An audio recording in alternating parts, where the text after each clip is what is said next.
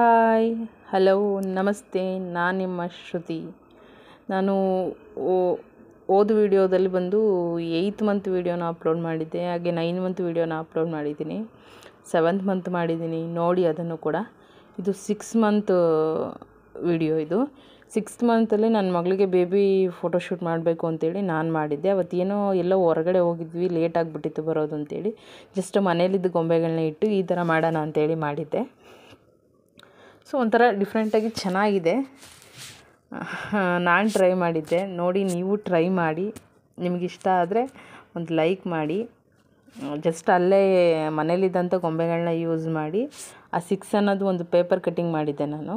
Six ಅನ್ನೋದನ್ನ paper cutting ಮಾಡಿ it's my halls birthday ಅಂತೇಳಿ ಕೂಡ ಒಂದು ಬೋರ್ಡ್ ಥರ ಮಾಡಿ ಮಾಡಿದ್ದೆ. ನೋಡಿ ನಾನು ಕೇಕ್ ಹಚ್ಚಿದ್ರೆ ಅವಳು ಎಷ್ಟು ಹೆದರ್ಕೋತಾ ಇದ್ದಾಳೆ.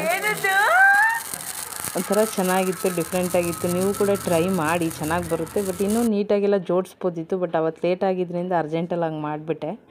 ಸೊ ನೀವಿನ್ನೂ ಕ್ರಿಯೇಟಿವ್ ಆಗಿ ಟ್ರೈ ಮಾಡಿ. ಅವಳು ಹೆಚ್ಚಾಗಿದ್ದಾಗ ಫೋಟೋಸ್ನ ತೆಗೆಸ್ಕೊಳ್ಳಲ್ಲ ಅವಳು. ಅದಕ್ಕೋಸ್ಕರ ಮನ್ಗಿದಾಗಲೇ ಆ ಥರ ತೆಗ್ದಿದ್ದೆ. ಕೆಲವೊಂದರಲ್ಲಿ ಎದ್ದಿದ್ದಾಳೆ.